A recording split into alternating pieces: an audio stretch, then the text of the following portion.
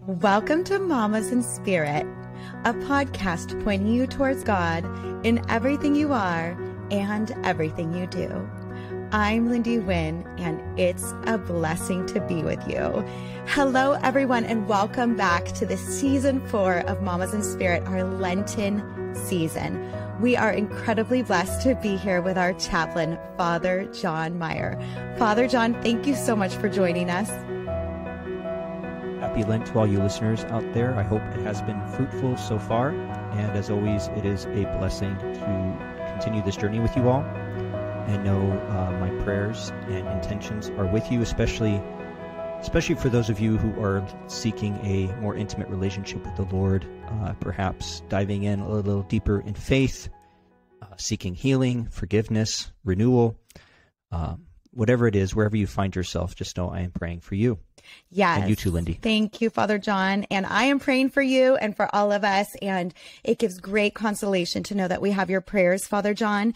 And I love how you already said it is a blessing to be on this journey with you because it's so important for Father Jon and I to know that we're on this journey together, on this journey into the Sacred Heart of Jesus. In our personal relationships with God, we are learning and we are growing too. And I think probably the biggest thing that Father Jon and I learn over and over again is our complete and utter dependence on God. Yeah, that is a definite true statement. And uh, just as we were preparing for this podcast, experiencing some technical difficulties and never quite sure what to expect when we uh, record together. But there's a beauty in that, uh, insofar as it places us as really God desires. Uh, of course, He sees us as His children, and it is our our responsibility, I would say, uh, to enter into that identity as His children. Although uh, it is difficult with responsibilities and worries and preoccupations, and you know even the the human uh, sense of of anxiety and nervousness. Um, I mean, it, that's something you've experienced, I would imagine, Lindy. You know, doing all these rep- podcasts, I certainly experience it before Mass. You know, if I know I'm going to um, preach, and of course, as a minister, uh, trying to bring the Word of God into the lives of people. Uh, but it's so can be challenging when my own insecurities or my own fear of you know am i going to say the right thing? Uh, is it going to touch people? And it's so easy to i think psych ourselves out so that we sort of become our own obstacles to enter into that childlike relationship with the lord uh, anyway, I just I perhaps present that to you as as an opening opening questions. We're going from zero to fifty really quick. hey, that's how Mamas in Spirit rolls. And actually, it reminds me. I interviewed Meg Hunter Kilmer at the end of the last season three, and I remember her talking about Mary's ongoing yeses. That we focus so much on her big yeses in her life, but yet there's these ongoing yeses. And yes, yes, Father Jon, yes, this takes courage the great mercy and blessing and grace of the Lord to always continue forward because we choose, or it's placed on my heart, on your heart, to delve into really big topics that feel like they really matter because, you know, we've chosen a really light-hearted one for today. We've chosen shame. Why not talk about shame? Why not? Let's, yeah. We're going there. We're going there. Amen. So, in that spirit, in the Holy Spirit, would you like to open in prayer? would you like me to?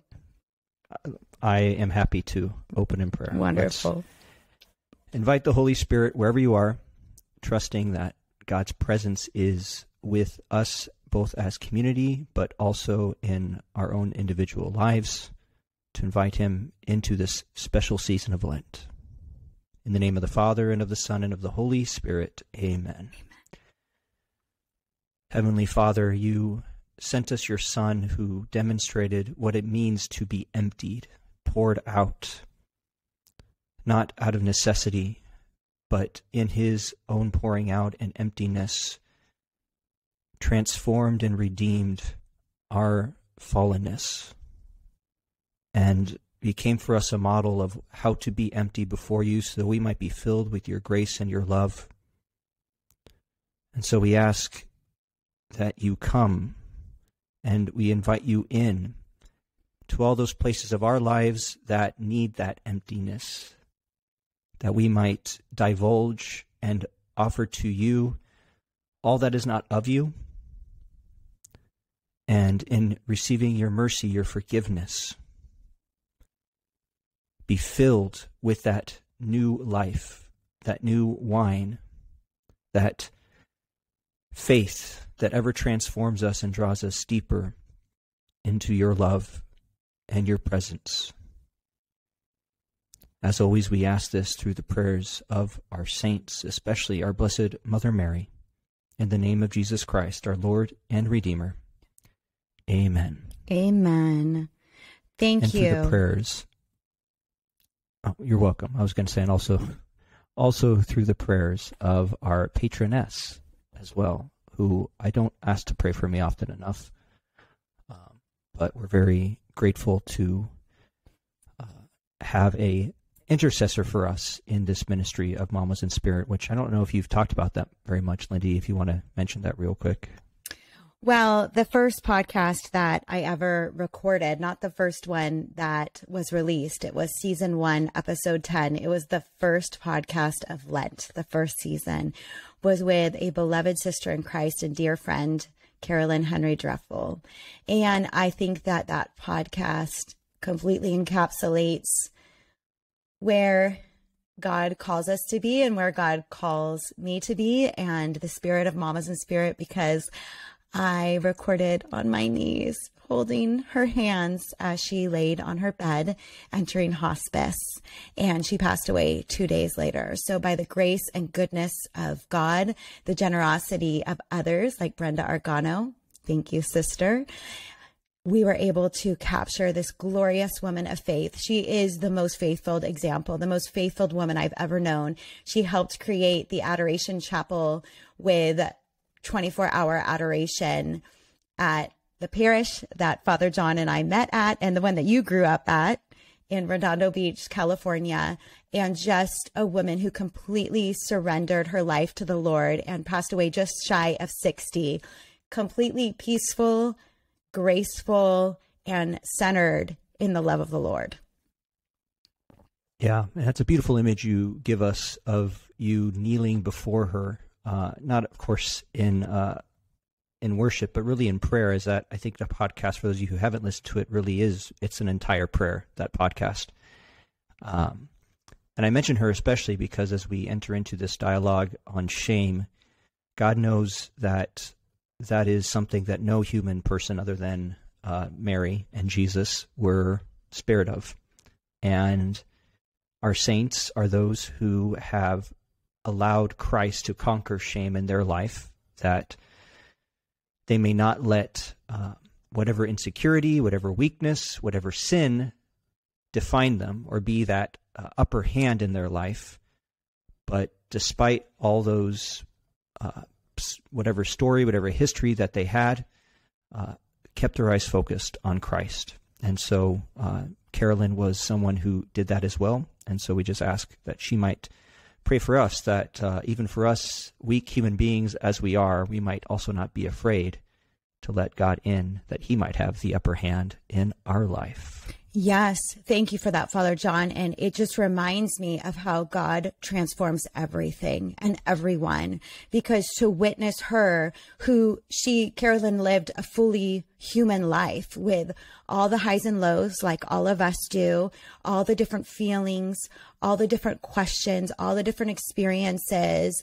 She completely abandoned herself to the Lord and to be able to witness the purity of her heart and soul as she went home to the Lord is a great model and testimony for all of us. And it's so important for us to remember that we are on this journey together, hand in hand, knit together, and that God graces all of us, including Father Jon, including me, with examples both living and those who have passed, like the saints that you've talked about, and of course, the ultimate model in Christ and our beloved Mother Mary of how how to do this and who to follow. Right.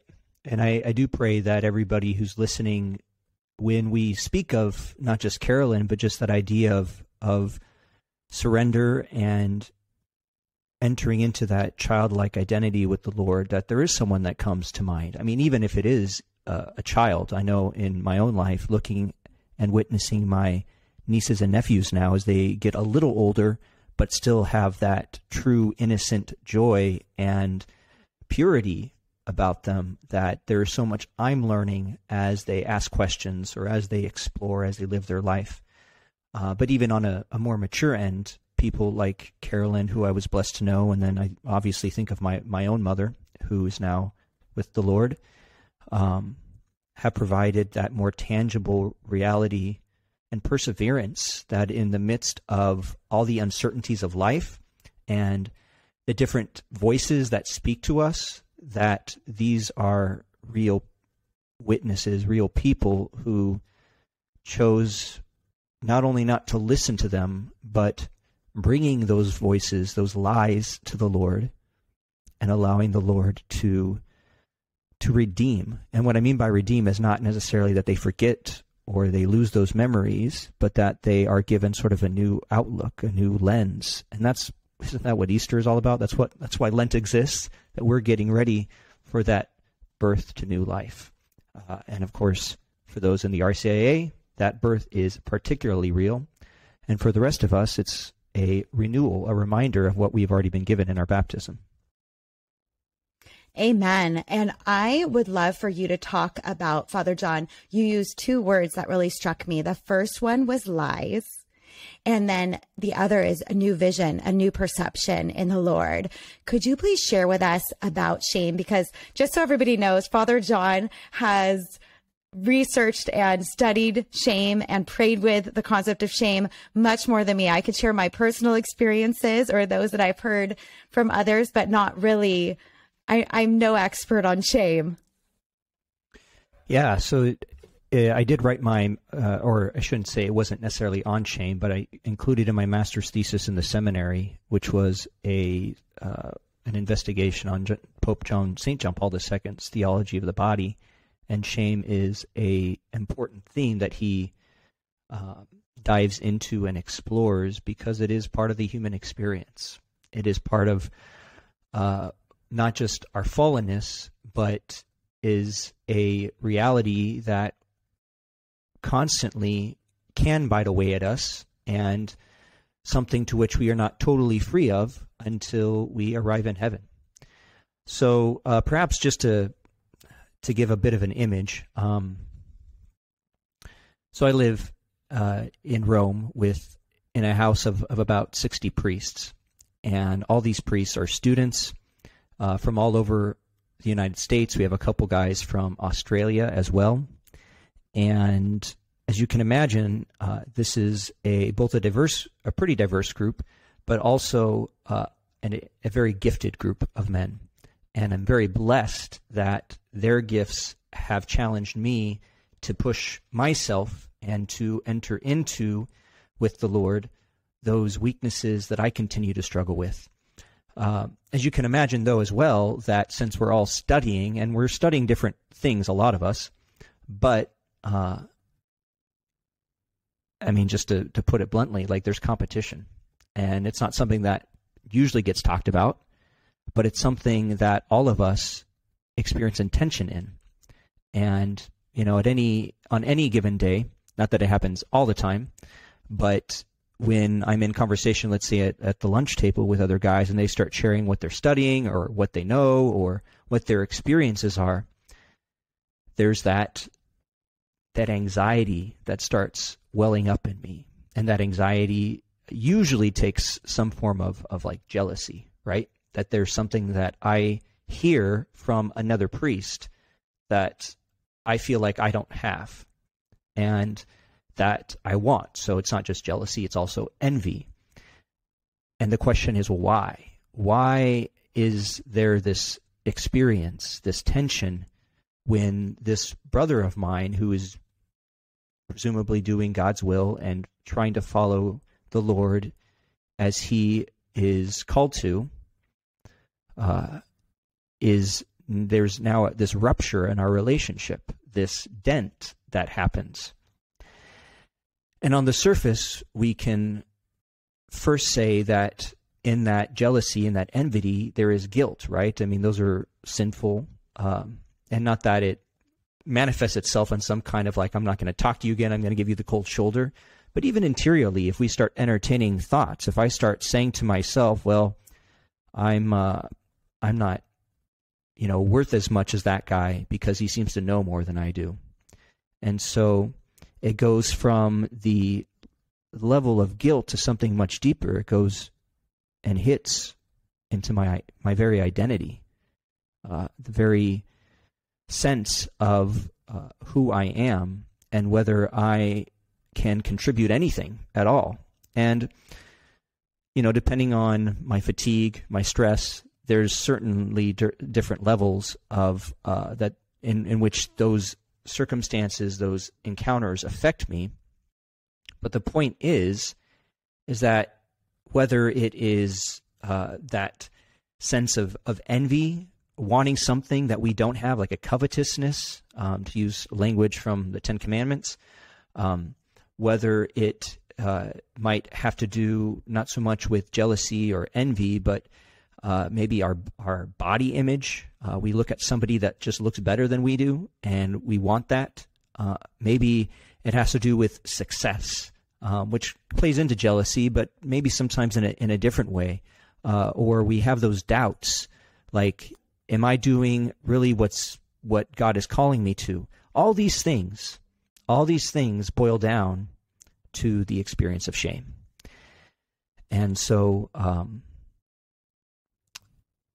I mentioned lies because, uh, and as I said, John Paul II especially goes into this in, in the theology of the body is the very root of shame is ultimately a lie. And and scripturally he he points to uh, the book of Genesis in chapter 3 which we all know the story of Adam and Eve encountering the serpent. And the serpent approaches Eve and the they're told not to eat this fruit but the serpent says uh, well, if you eat this fruit, you know, you will become like gods. You will know the truth. Um, and in that moment, um, we understand that Eve is now beginning to doubt because God was the one, God was the one that told her not to eat that fruit. And why would God do that? Did God want to just torture Adam and Eve? No. There was a protection there. There was a wisdom, uh, a right relationship where God did this out of out of love. And of course, I'm not trying to interpret this necessarily historically, but this is uh, revealing to us a, a deeper truth about who we are. Because when Adam and Eve chose to eat of that fruit, their choice was a first of all a rejection of God. It was a pride.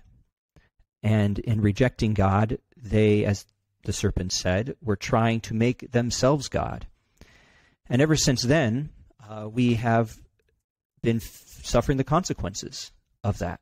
We have been suffering from that, uh, even if it's sometimes minute and doesn't always bother us, a, a division that in this life we are always going to be incomplete. And uh, what I thought we can reflect upon in our time together is becoming aware, first of all, of that incompleteness in ourself. And then, second of all, how do we react or respond to that? Because, as I said, whether it's jealousy or issues with body image, I mean, every sin um, is affected by and affects our experience of shame.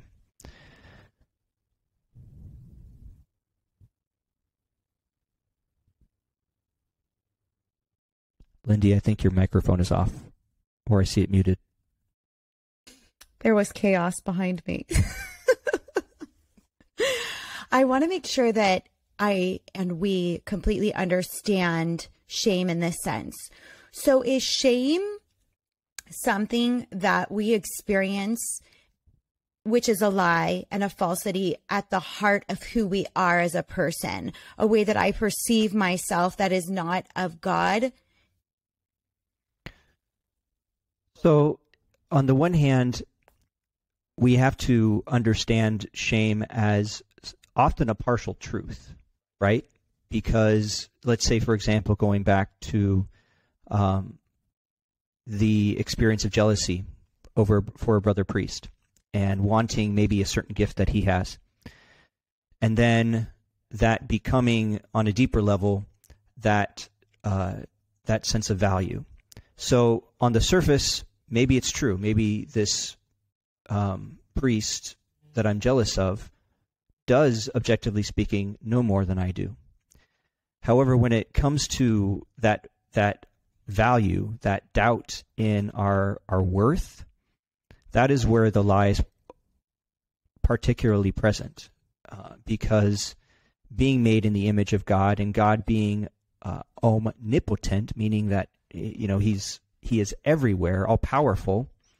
Um, that he does not distinguish in love between this person or that person.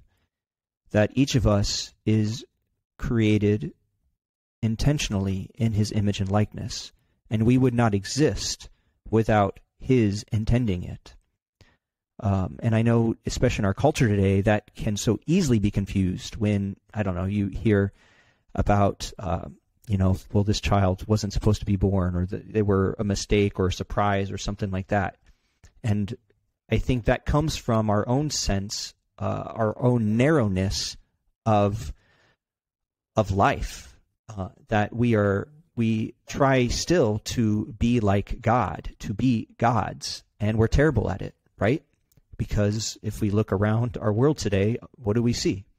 Um, poverty, division, uh, war, uh, abortion, uh, you name it, and all these all these sins have at their root this pride over trying to overstep our boundaries of trying to becoming of, of, attempting to becoming someone that we're not. And St. John Paul II uses this word grasping, that in shame, rather than receiving as gift, that we try to grasp at life, at power, because of that doubt because if if I don't feel like I'm I'm worth something, then I grasp at let's say fashion. Well, this makes me feel good because I I look I, when I look good, then I feel better about myself. Or um, it gives us the excuse to perhaps lie or uh, manipulate because uh, if I am ahead of that person, uh, or if I put that person down, I feel better about myself.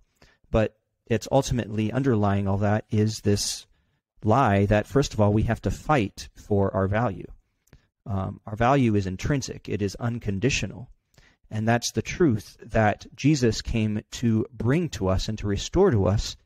And yet, even in our baptism, we still struggle with accepting it. Yes, with accepting God's merciful love. You talked a little bit about us earning God's love or earning love. How do you see that playing out even within the context of faith in our church? Because some of the things that I, I witness and that I see and that I've even seen and witnessed within myself is that earning of God's love or the earning of heaven, the earning of eternal life, when really that is a gift and a grace that is only given by God. Yeah, exactly. Uh, this isn't anything new. Uh, the church has over time, on and off, confronted uh, heresies in in movements where the basic thought was uh, that we could earn earn our way to heaven. That um, God's grace is helpful, but it's not necessary. Um, and then there's also the opposite extreme too, that we can't do anything good. That we're just uh, a ball of of useless matter that without God we're deprived. Um, rather, there's uh, there's a mean in that where the truth lies. That God, as we also hear in Genesis, made us good, and when uh, the Adam when Adam and Eve fell, uh, when we talk about the fall, um, we don't lose our natural goodness, uh, but it does get um, affected. It does become uh, infected, I, I would even say, infected by this uh, experience of shame.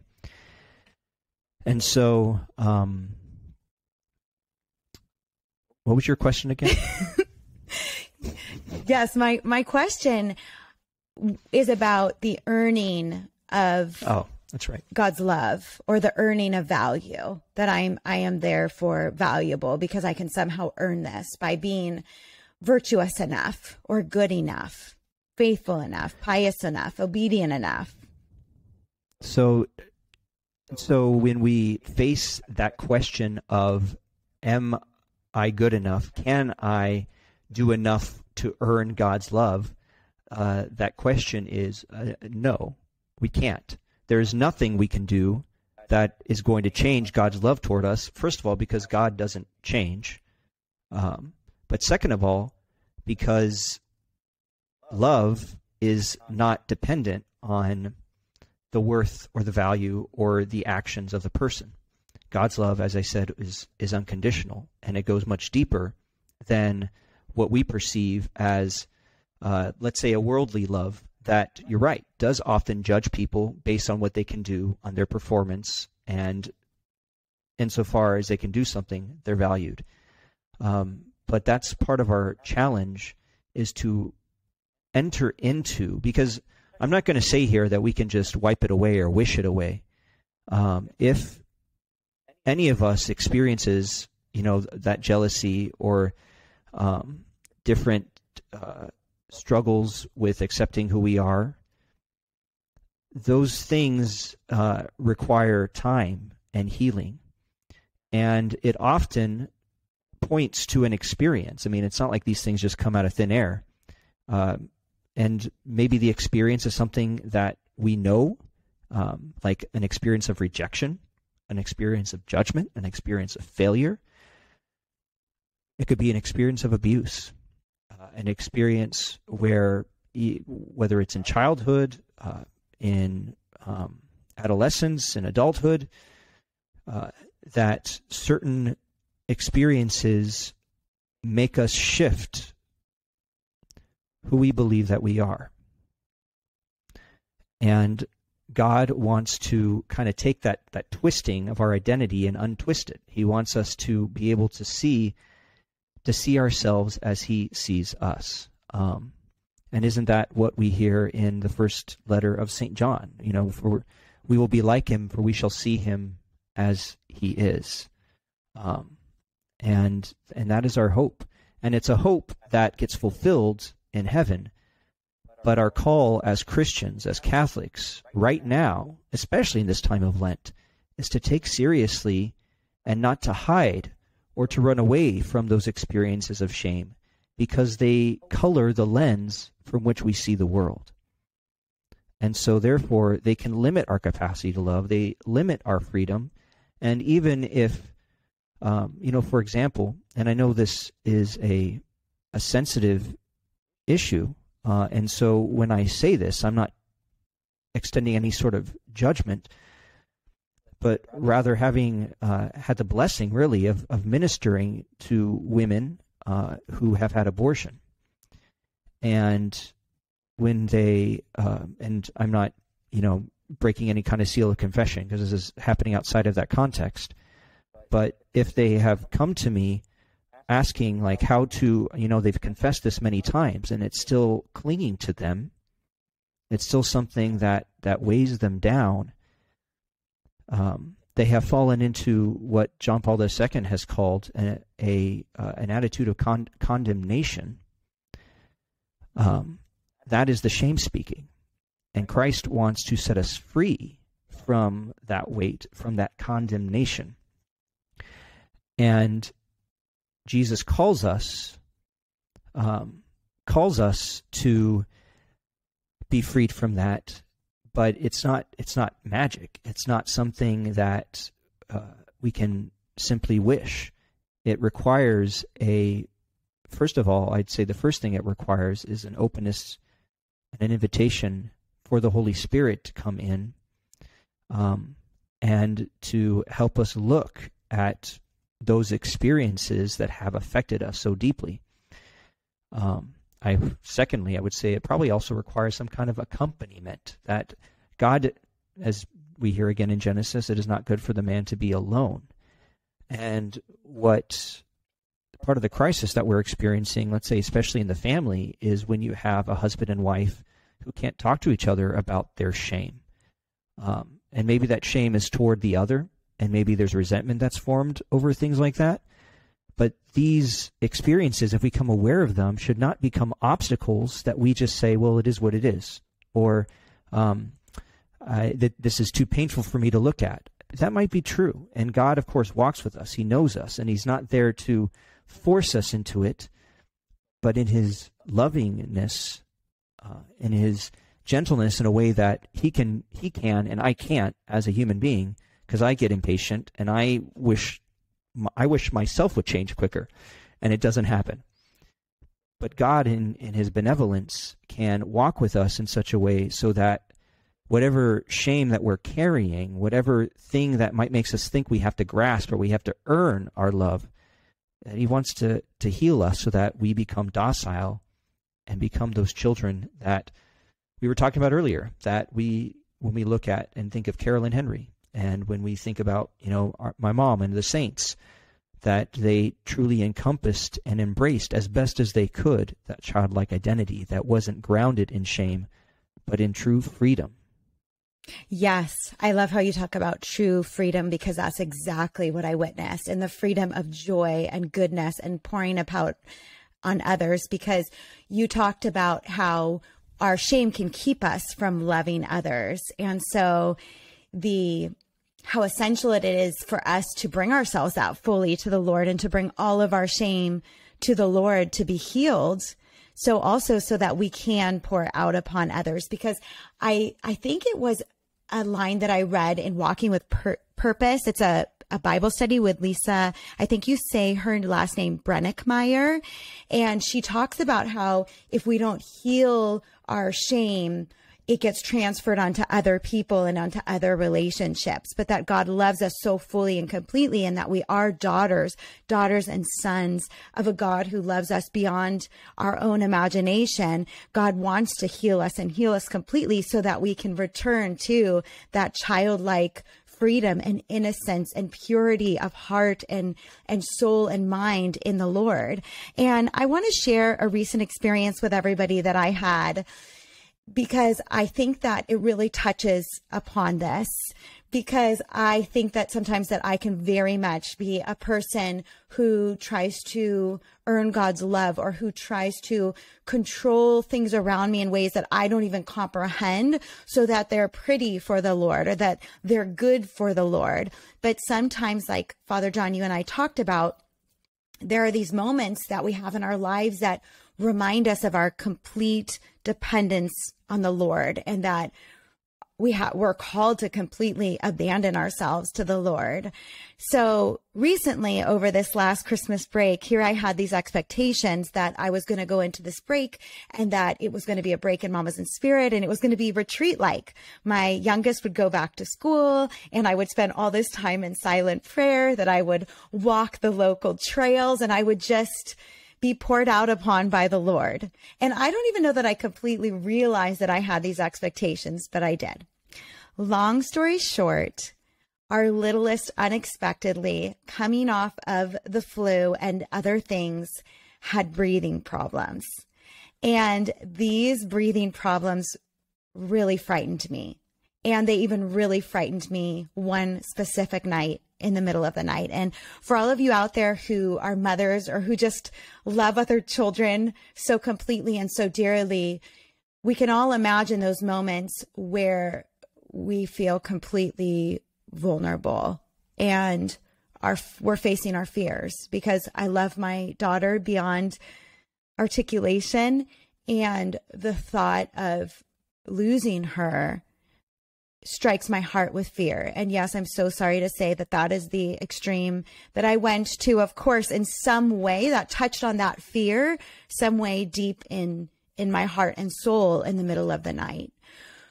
So after looking things up and realizing that her breath rate was normal. So even though I was hearing all these other crazy things that I probably didn't need to take her to the emergency room in the middle of the night, I laid in her bed next to her and I felt frozen or paralyzed in that fear that fear of, of what was going to unfold. And praise God, God poured out on me so beautifully and so completely in such a surprising way. She has these stars on the ceiling in her room, and they remind me of being in Mary's mantle. They remind me of Our Lady of Guadalupe. And I just felt so consoled looking up at these stars, these glow in the dark stars on her ceiling, and the Lord covering me in the Lord's mercy and the Lord's goodness. And the other thing in her room is a glow in the dark Mary, a little statue that a beautiful woman, April Mascola, her daughter had it and she shared it with mine. And I felt the real presence of Mary in that moment through that little glow in the dark Mary and these stars on the ceiling and knowing that I could have fallen to a place of shame. Like, here I am, I'm in ministry, I love the Lord with all my heart and soul. Um, I shouldn't be feeling this way. I shouldn't feel paralyzed. I shouldn't feel overwhelmed by all of this. Like, I know where to go. I think when I was younger, I would have felt really ashamed about that. And that would have touched upon a part of me that felt like I wasn't good enough or didn't have it together enough. But instead, I allowed myself to lay there as God's beloved daughter and for the Lord to pour out upon me and to just love me as I am and to bask and to soak in his glorious love and just to allow his mercy to be upon me. And I bring that story up because that's something that I hope and I pray for for all of us, whether it has to do, Father Jon, you brought up this example of abortion. There's a million examples. There's a, I'm a woman. There's a million examples of, of feeling insecure or not good enough. I hear from moms all the time who pinpoint certain moments in their lives where they feel like they failed. Maybe they yelled at their children. Maybe they were late to mass with their children, whatever it is, that somehow those tiny little moments touch on shame of not being good enough. But like Christine Rich said way back in season two, it's not about being good enough. It's that you're already more than enough. We're already more than enough because God shaped and molded and crafted each one of us. And this morning, when I was pondering this and praying for this, this beautiful thought came to mind for me. God loved us so much that God thought of us. God imagined us. The sacredness of life comes before conception. It's that we were thought of, that we were dreamt of, that we were imagined, and that there's nothing that we can do that God cannot heal. And that's why we're doing this. That's why we're talking about shame in this Lenten podcast because so many moments of our day and this will happen and does happen to every single one of us. Tiny moments can have profound effects on our sense of shame, of not being good enough, of not being holy enough. But Father and Jon and I have talked about this.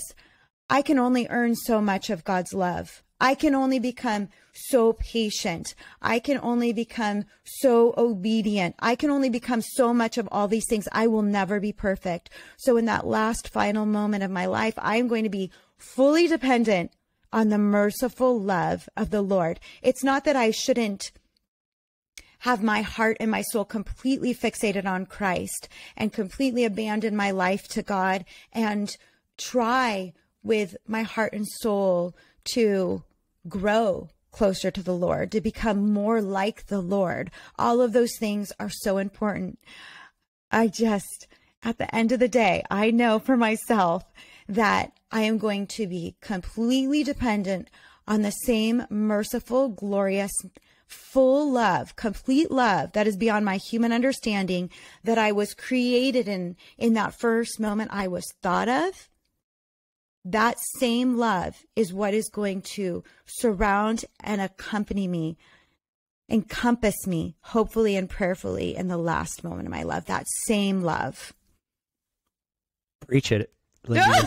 what you said, seriously, what you said is like, is you were speaking truth. And from the moment you, you shared your experience this past winter of uh, with Emelina, uh, to what you just said about that moment of our death where we have to try. I mean, you know that that is the the the Greek word for the word faith is a synonym for trust, and so those two go hand in hand.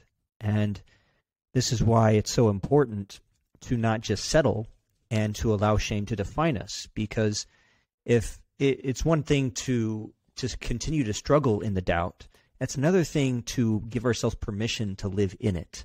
And while that, of course, is easier to overcome, uh, easier said than done, it's something that the Lord desires for us. Like he, he wants us to be close to Him, as you pointed out so beautifully, and um, and that is that is the path to that wholeness, to that freedom that I know I've talked about before, um, and if nothing else, I think one thing that struck me that you said is you had a choice. Like you noticed when you were struggling with Emelina to go down that path of shame and to condemn yourself because your faith wasn't strong enough or that, you know, condemn yourself as a mom because you didn't take care of her well enough or whatever it was.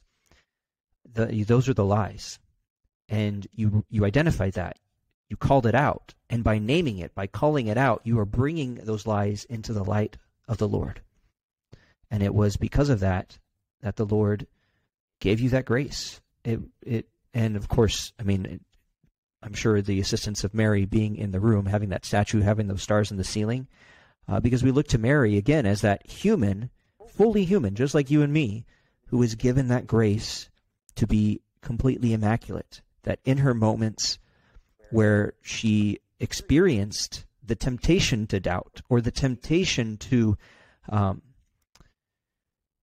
to break away from the Lord, that that that identity, that that grace, special grace that was given to her, kept her always docile, always united to to God, and so we have no more powerful model or witness than her because obviously she suffered. Obviously, she endured, and I think this was actually the, the theme of uh, your pod, your Lenten podcast last year, the Seven Sorrows of Mary. And so obviously she experienced extreme anguish and was united to Christ on the cross. I mean, she was not spared from that, especially as a mom. And yet, and yet, None of those things ever became obstacles for receiving the fullness of grace. That she remained in that tension. She remained open to the Lord. And that, I mean, I didn't say this, but that is the consequence of shame. And it's, it's the consequence of Adam and Eve is that they close themselves off to each other. They close themselves off to God. But there's even a certain closing off to ourself, that there's a, a blindness that, a, that we now impose not always because we don't want to face things, but because of the pain. It's it's like an instinct. It's like our uh, self-preservation instinct, where it's like we we have to close ourselves off in order to survive. And the Lord wants to remind us that survival is not through our own power, our own preservation, but our survival really and it's really not surviving, it's thriving. Our thriving has to be through the cross death to resurrection. Yes, our surviving has to be due to the cross. And I love that you say that because I had other memories come up as I was pondering and preparing in my heart for this conversation. And I am definitely the kind of person that tries to like hold it all together and keep it all together. Many of you may know um, I have a husband, a glorious husband who I love so much. Hi, Brian. You listen to every podcast. I love you so much. He happens to have a rare disease and he hates that I say this. I love you. But he's been sick many times in our marriage. But then we also are an adoptive family and we adopted two of our children older and we we have special needs in our family. And our son he has significant special needs. He's intellectually disabled and he also is challenged with mental health issues. And so i'm sure you can imagine there was a good I don't know, 13 years, let's say, that I was, I was really fully dependent on the Lord, but also trying to like control all of these circumstances, control the behaviors of my son for sure, because he was having a very hard time controlling them himself. So I had to learn behavior modification and praise God for all the beautiful souls, all of you out there that do that type of work. It was wonderful and very, very effective until it wasn't, meaning this there were moments that I fell flat on my face in the most beautiful of ways because I had no answers. I had no way of knowing how to move forward other than a complete surrender to the Lord and the Lord's glorious provision every time. One time was when I got a phone call from Henry's School that he was hallucinating and walking off campus. The second time was fast forward three or four years later from middle school to high school. And he ran out of school and threatened to go run in the middle of traffic on the highway. I can't fix these things. I couldn't fix these things. There was nothing that I could do to fix those things in those moments. And those moments touched on my complete and utter dependence on God. And God is so providential and so divine. Father Jon and I are recording this podcast on the morning where the Gospel of Mark has to do with the healing of two women. And the first woman is the woman who's hemorrhaging, and she reaches out to Christ. She reaches out to Christ's cloak and touches him, and she's healed. And Jesus says to her, Your faith has saved you. Your faith has saved you. And I love to think that God is so simple. I'm so complicated. We're so complicated, but God is so simple. And love is so simple and so complete. It's our faith that saves us. It's not our doing. It's not our, our earning. It's our faith, it's our purity of heart and our return time and time again to the Lord. And for me, I have to do that every day. And sometimes multiple times a day. It just depends. I am weak in so many ways, yet so held and so secure and so strong in the Lord. So every day I have to be reminded and I have to remind myself. Sometimes I have to reframe my thinking, allow God to reframe my thinking, to reframe my heart, to reframe my soul, to reframe my being that I am God's beloved daughter. I am loved beyond imagination and I am loved beyond compare. And what I mean by that is what you touched on, Father Jon, about the comparison to others. And I think this is so critical. We all have stories. We all have hurt. We all have pain. We all have shame. No one goes through life without that. So, any of us who sit in the pews at church or walk into a coffee shop or walk into a trendy store or turn on the TV, to think that everyone doesn't carry that, that's false. That is absolutely false. We're all the same in that way. Every single one of us, no matter how pretty our social media pictures are. That's one thing. The second thing is is God has poured upon, upon God has poured out gifts. First, just the gift of who we are as a human that erases all shame because that's not of God. We are all that profoundly valuable, but God has also poured out gifts upon us. And like it says in scripture, we are one body in Christ. We need every gift. You are needed. We are all needed. Father Jon is needed. I'm needed. You are needed. Your children are needed. Every single one of your family members is needed because we are all different. Not one of us is the same. And what we bring first and foremost is just the gift of self, just as we are doing nothing, that merciful love of God. And then, secondly, the gifts that God has blessed us with to love and to share, to heal, to commune with one another as God calls us.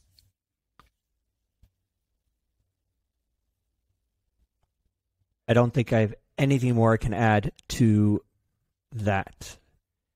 Uh, perhaps other than what you said about comparison reminds me of a quote. I think it's from Franklin Roosevelt, one of the Roosevelts, that comparison is the thief of joy. And the more we allow ourselves, and it is a choice, you know, we choose, we will when we focus, and maybe it's because of habit, maybe we're used to it. We focus on those those darker things that pit us against other people, that make us condemn ourselves, and that distance us from God or give us an image of God uh, that might be rooted in in a complete lie because of what has befallen us, and perhaps if nothing else, as you just shared with us, Lindy, that the very essence of who we are as being needed, but I would also add to that wanted, wanted by the Lord, uh, that whatever we find closed off to Him, uh, that in this Lenten season, we ask for the courage. And maybe maybe it's not even courage we should ask for. We should really be praying for that like poverty, for that that that ability to be weak, that capacity to be weak before the Lord, to not come to Him as we sometimes do with this, well, I know what I need to pray about, and I know what I need to say before the Lord, but to to perhaps come to him as a child and be like, I really don't know what you want in this time that I have with you, Lord. But let God be God and let us be the children. Amen. Let God be God and let us be the children. And going back to that gospel of Mark, and I want to invite everyone to go read this gospel, Mark chapter 5, verses 21 through 43. The second part has to do with, I think, one of the things you just said, Father Jon, and that God wants us. First, the woman who was hemorrhaging reached out to Jesus, but then Jesus went to the daughter who her whole family thought that she had died.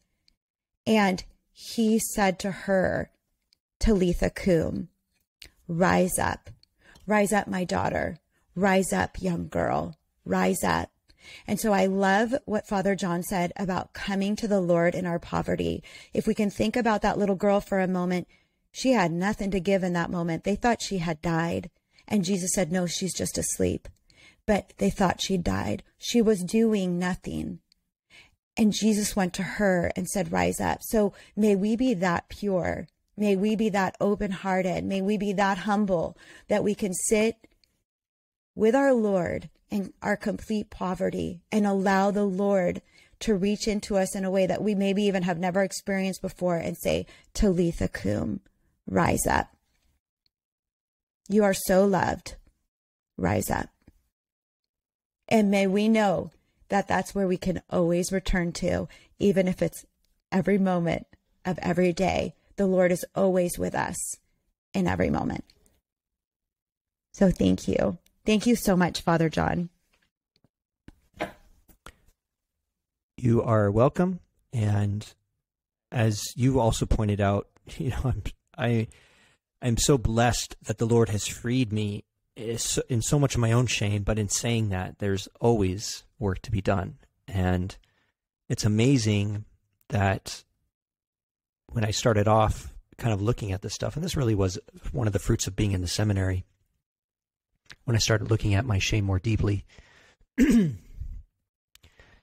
that uh, what was at first painful and almost debilitating still is painful, but is motivated by a greater desire to be free and by a certainty that in giving this shame to the Lord, in giving over this insecurity, this lie, that I am allowing Christ to penetrate into what is not of Him so that He can dwell in me evermore.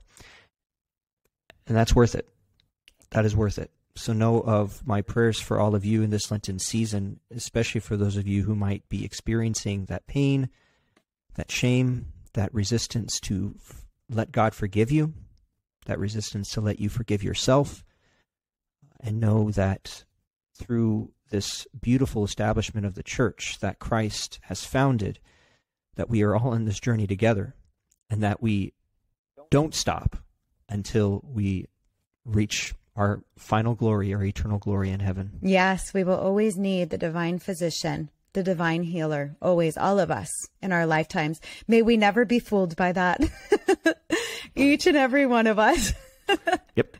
Amen. So, as we also continue to journey through the Lenten season and this concept of shame, we all know what is in each one of our hearts and our souls. And there are so many other beautiful souls out there to walk with and accompany us. And the things that I suggest are things that I do myself. And this is the way that God works through and helps to heal me in my own life and also gives me other glorious mentors and role models. So I want to encourage everyone to go to reconciliation and may we all remember that nothing is too great. Nothing.